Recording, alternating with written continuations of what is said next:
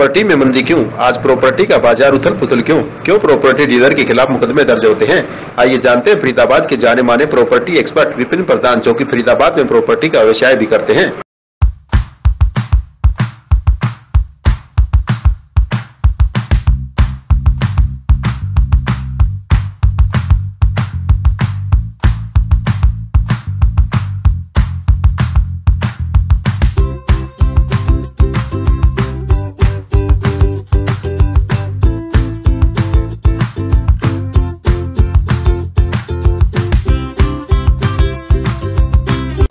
मैं विपिन दायमा गाँव फिरोजपुर कला से प्रधान प्रॉपर्टी फरीदाबाद बल्लभगढ़ सर आज निरंतर प्रॉपर्टी में मंदी का दौर चल रहा है। ऐसा लोगों का कहना है ऐसा प्रॉपर्टी डीलरों का कहना है।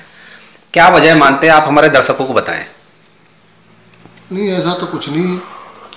प्रॉपर्टी में मंदी तो नहीं है खूब अब तो खूब काम चल रहा है प्रॉपर्टी का।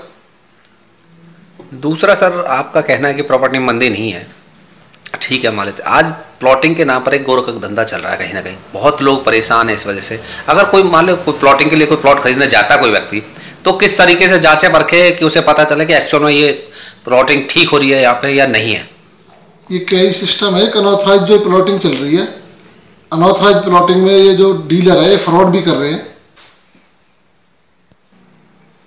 मैं सभी से यही रिक्वेस्ट करूँगा कि अपनी जो भी ज़मीन ले उसके पेपर तहसील में जाके चेक कराए उनकी बारी जा, उनकी जाँच कराए और किसी भी प्रॉपर्टी के बारे में किसी से भी अच्छी सलाह ले और जब कोई आगे कदम रखे। तो क्या सर आज का जो समय है वो प्रॉपर्टी में पैसा इन्वेस्ट करने का उचित समय है नहीं है? हाँ इस टाइम उचित समय है प्रॉपर्टी में पैसे इन्वेस्ट करने का क्योंकि अभी थोड़ा मंदा भी है प्रॉपर्टी में ज़मीन सस्ती है तो बढ़िया है जो भी गरीब आदमी आज की डेट में ले लेगा वो सही है।